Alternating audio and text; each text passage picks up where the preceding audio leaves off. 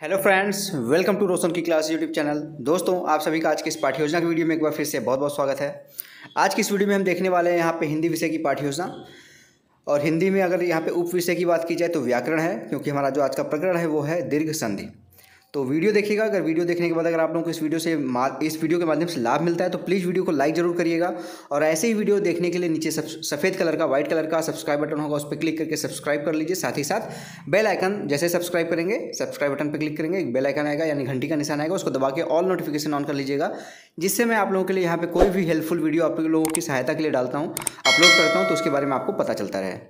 तो देर नहीं करते चलिए स्टार्ट करते हैं आज की वीडियो यहाँ पे सबसे पहले आप सभी को पत, मैं यहाँ पे बता दूँ कि आपके कॉलेज में हो सकता है फ़ाइल बनी बनाई मिले इस तरीके से जो प्रिंटेड देख रहा है आपको ये सारी चीज़ बस फिल करना हो यहाँ पे आपको। और काफ़ी कॉलेजेस में हो सकता है कि आपको कुछ भी लिखा हुआ ना मिले तो वहाँ पे ज़्यादा कन्फ्यूज़न होता है इसलिए मैं एक एक चीज़ बताता हूँ। तो सबसे पहले आप जिस पेज से पाठ योजना बनाना स्टार्ट करते हैं उसके बीचों बीच इस तरीके से पाठ योजना लिखिए या फिर दैनिक पाठ योजना लिखिए उसके सामने नंबरिंग कर दीजिए। उसके बाद आपको डेट लिखना है, दिनांक जैसे यहाँ पर लिखना है, किस डेट में आपने कौन सी पाठ्य योजना पढ़ाई है, विद्यालय का नाम लिखना है, जिस विद्यालय में आप पाठ्य योजना पढ़ाने के लिए जाएँगे, अपने विद्यालय का नाम नहीं लिखना है जहाँ पर आप पढ़ रहे हैं, जहाँ पे आपकी ट्रेनिंग होगी, जिस विद्यालय में आपको पढ़ाने के लिए भेजा जाएगा, उसका नाम लिखना है। उसके बाद यहाँ पे अगर समय अवधि की बात की जाए तो यहाँ पे आप चालीस मिनट या पैंतीस मिनट जो भी होगा, लिख लीजिएगा। विषय हिंदी का है, पाठ की संख्या अगर कोई है तो वो भी लिख सकते हैं, नहीं आपको आपके कॉलेज में नहीं लिखने के लिए कहा जाए तो मत लिखिएगा। प्रकरण मैं पहले बता चुका हूँ, पाठ्य प्रकरण देखे लिखा गया है डायरेक्ट आप प्रकरण लिखिएगा, दीर्घ संधि। अब इसके बाद आपका आता है उद्देश्य। यहाँ पे जो उद्देश्य है, ये विशिष्ट उद्देश्य की बात की जा रही है। क्योंकि यहाँ पे देखें ज्ञानात्मक लिखा गया अवबोधात्मक लिखा गया, अव्यक्त लिखा गया तो ये विशिष्ट उद्देश्य के अंतर्गत आता है।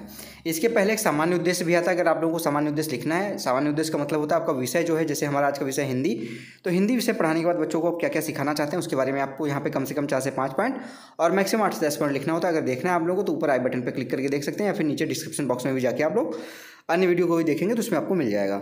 अब अगला यहाँ पे हेडिंग जो मैंने बताया, विशिष्ट उद्देश्य यहाँ लिखिएगा। विशिष्ट उद्देश्य का मतलब होता है आपका जो टॉपिक होता है, जैसे हमारा आज का टॉपिक क्या है? दीर्घ संधि।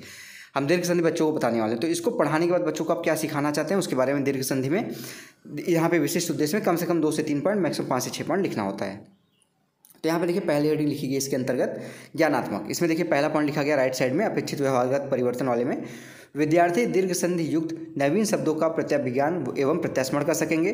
दूसरा पॉइंट है, विद्यार्थी दीर्घ संधि युक्त नवीन शब्दों का विश्लेषण यहाँ पे कर सकेंगे। अगली हेडिंग है, अवबोधात्मक, इसमें देखिए लिखा गया पहला पॉइंट विद्यार्थी दीर्घ संधि के पदों को अलग अलग बता सकेंगे। दूसरा पॉइंट है, विद्यार्थी दीर्घ संधि युक्त शब्दों की तुलना समास युक्त शब्दों से कर सकेंगे। अगली हेडिंग है तीसरी, अव्यक्त, इसमें देखिए पहला पॉइंट लिखा गया, विद्यार्थी अव्यक्त में दीर्घ संधि युक्त शब्दों का समुचित प्रयोग, समुचित प्रयोग कर सकेंगे। और दूसरा पॉइंट है यहाँ पे विद्यार्थी दीर्घ संधि युक्त पदों का वाक्य में प्रयोग कर सकेंगे। अगली हेडिंग है यहाँ पे अभियोगात्मक। इसमें देखिए, पहला पॉइंट लिखा गया है, विद्यार्थी तालिका के माध्यम से संधि विच्छेद कर सकेंगे। दूसरा पॉइंट है, विद्यार्थी अभ्यास तालिका बनाने में विशेष योग्यता प्राप्त कर सकेंगे। अगली हेडिंग है, पांचवी यहाँ पे पॉइंट है, अभिरुचि। इसमें पहला पॉइंट लिखा गया, विद्यार्थी अपनी पाठ्य पुस्तक में आए दीर्घ संधि युक्त शब्दों को संकलित कर सकेंगे। और दूसरा पॉइंट इसमें विद्यार्थी भाषा के से संबंधित कार्यक्रम दूरदर्शन पर देखने व आकाशवाणी पर सुनने में रुचि ले सकेंगे। अब अगली हेडिंग आती है इसके बाद सहायक सामग्री। सहायक सामग्री में देखिए, यहाँ लिखा गया है हेडिंग के अंतर्गत कक्षा कक्ष उपयोगी सामान्य उपकरण यथा लपेट फलक, जिसके अंतर्गत आता है श्वेत वर्तिका यानी चौक, झाड़न, जिसको डस्टर कहते हैं, और नियमीकरण चार्ट, यानी कि आप दीर्घ संधि का जो नियम है, उसको चार्ट पे बना के ले जाइए। बच्चों के सामने उसको टांग दीजिए। खुटी कोई होगी बोर्ड के पास, वहाँ पे टांग दीजिए उसको और उसको एक्सप्लेन कर दीजिए यहाँ संकेतक के माध्यम से। जो छड़ी आप ले जाते हैं पढ़ाने, पढ़ाते टाइम उसको संकेतक कहते हैं उसके माध्यम से।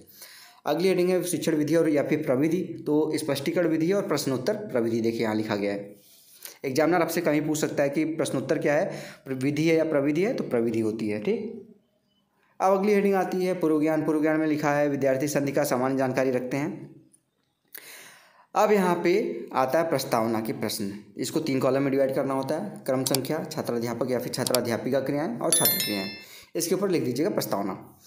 इसमें कुछ बातों का ध्यान रखना होता है, जिसको मैं यहाँ पे एक्सप्लेन कर देता हूँ आप लोगों को, कि इसमें कम से कम दो यहाँ पे तीन प्रश्न पूछ के अपना प्रकरण निकलवा सकते हैं। ज़्यादा से ज़्यादा पाँच से छः प्रश्न पूछा जा सकता है अपना प्रकरण निकलवाने के लिए। यहाँ पर दूसरी बात जो ध्यान में रखनी होती है, पहले प्रश्न का जो उत्तर आएगा उसे दूसरा प्रश्न बनेगा, दूसरे प्रश्न का जो उत्तर आएगा उसे तीसरा प्रश्न बनेगा। इस तरीके से प्रश्नों में क्रमबद्धता होनी चाहिए। तो पहला प्रश्न यहाँ पे देखिए, बच्चों से आप पूछेंगे, प्रस्तुत चार्ट किससे संबंधित है? चार्ट दिखाते हुए जो मैंने आपको अभी बताया, चार्ट पे बना के ले जाना है। तो बच्चे बोलेंगे संधि से। दूसरा प्रश्न, संधि के कितने भेद होते हैं? बच्चे बोलेंगे तीन भेद होते हैं। फिर तीसरा प्रश्न, संधि के तीनों भेदों के नाम बताइए। तो बच्चे बोलेंगे स्वर, व्यंजन एवं व विसर्ग संधि। अगला प्रश्न है, स्वर संधि के पाँच भेदों के नाम बताइए। बच्चे बोलेंगे दीर्घ संधि, वृद्ध एवं गुड़ यड़ अयादि आदि। यहाँ पे पाँच हो गया ना, यहाँ पे देखिए दीर्घ हो गया, वृद्धि हो गया गुड़ हो गया एड़ हो गया अयादि हो गया। पाँच प्रकार हो गए। उसके बाद अब यहाँ पे दीर्घ संधि का नाम आया। दीर्घ संधि से प्रश्न पूछ लीजिए। दीर्घ संधि के बारे में आप क्या जानते हैं? विस्तारपूर्वक बताइए। बच्चे नहीं बता पाएँगे, समस्यात्मक प्रश्न हो जाएगा। समस्यात्मक प्रश्न जैसे होगा, अपना उद्देश्य कथन आपको बोलना है। उद्देश्य कथन देखिए, लिखा गया है। छात्रों, आज हम कक्षा कक्ष में दीर्घ संधि के बारे में विस्तार से अध्ययन करेंगे। बच्चों को पता चल गया कि उनको आप दीर्घ संधि के बारे में बताना पढ़ाने वाले हैं तो उसको आप हेडिंग यहाँ डाल सकते हैं। प्रस्तुतिकरण। प्रस्तुतिकरण हेडिंग को यहाँ पे चार कॉलम में डिवाइड किया गया अध्यापन बिंद छात्राध्यापक या फिर छात्राध्यापिका क्रियाएँ छात्र छात्रा क्रियाएँ और श्यामपट सारांश और सहायक सामग्री। पहला अध्यापन बिंदु है विश्लेषण।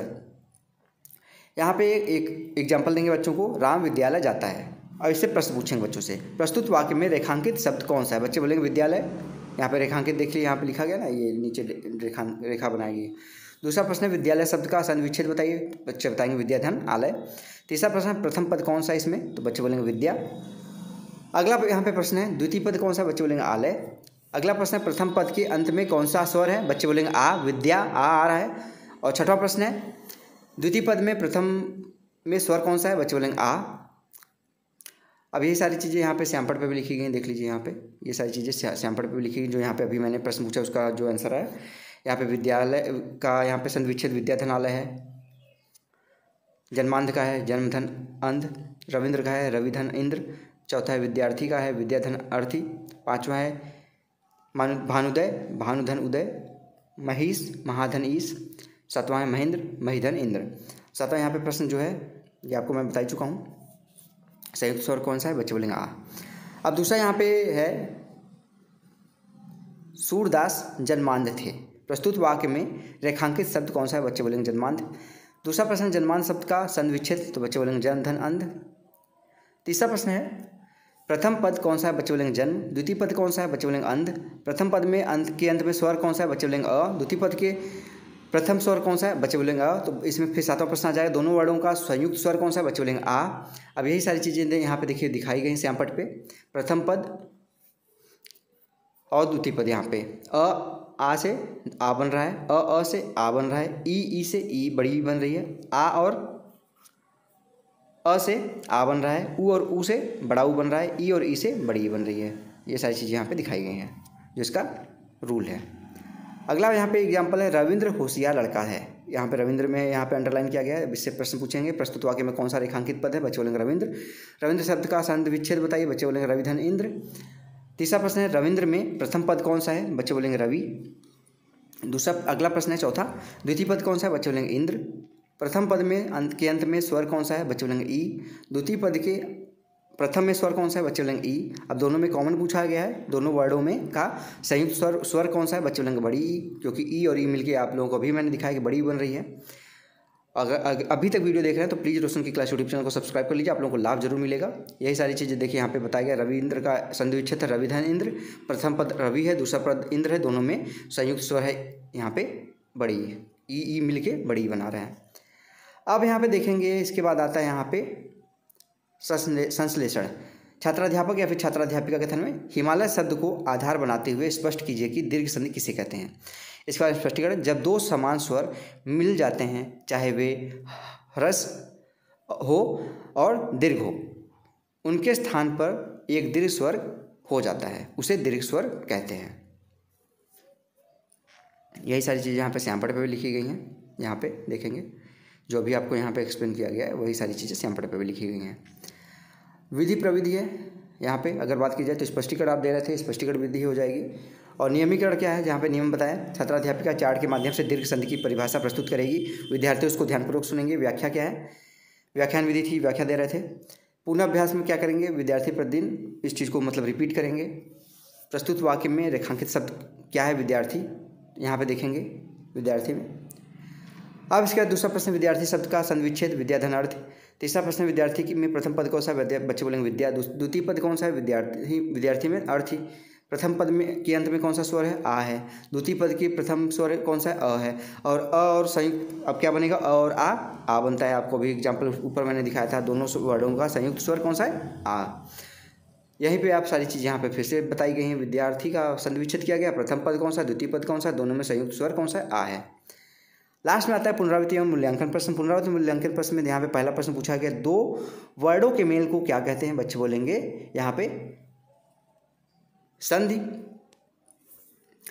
दूसरा प्रश्न है, कपीस का संधि विच्छेद होगा। तो यहाँ पे आप सभी को पता है कविदनीस तीसरा प्रश्न है, महीस का संधि का विच्छेद कीजिए। ऊपर मैंने स्टार्टिंग बताया था। वधु प्लस धन उत्सव की संधि कीजिए। अगर यहाँ पे लास्ट हेडिंग यहाँ पे लेसन प्लान का आता है, गृह कार्य। गृह कार्य, यानी कि सभी को पता है होमवर्क इसको प्रदत्त कार्य भी कहते हैं, जो कार्य घर से करके लाने के लिए दिया जाता है। तो यहाँ पे एक प्रश्न दिया गया है। दीर्घ संधि की परिभाषा बताते हुए कोई तीन उदाहरण दीजिए। तो ये था दोस्तों आज का लेसन प्लान इस लेसन प्लान की अगर पीडीएफ आप लोगों को चाहिए बिल्कुल फ्री में तो रोशन की क्लास टेलीग्राम चैनल जाके बिल्कुल फ्री में डाउनलोड कर सकते हैं। और अगर आप लोगों को वीडियो अच्छी लगी हो, इस वीडियो से लाभ मिला आप लोगों को तो प्लीज़ वीडियो को लाइक करिएगा। ऐसी वीडियो डेली बेसिस पे देखने के लिए रोशन की क्लास यूट्यूब चैनल को सब्सक्राइब मत करना मत भूलिएगा। नीचे सब्सक्राइब बटन है, सफ़ेद कलर का हो गया, पहले रेड कलर का था, अब सफ़ेद कलर का हो गया वाइट कलर का हो गया।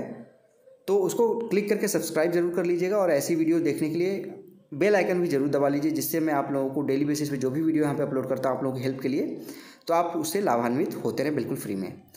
और वीडियो अच्छी लगे तो प्लीज़ लाइक करिएगा और कमेंट बॉक्स में कमेंट करके बताइएगा आप लोगों को वीडियो कैसी लगी। तो फ्रेंड्स मिलते हैं नेक्स्ट वीडियो में, तब तक के लिए आप सभी का बहुत बहुत धन्यवाद। जय हिंद, वंदे मातरम।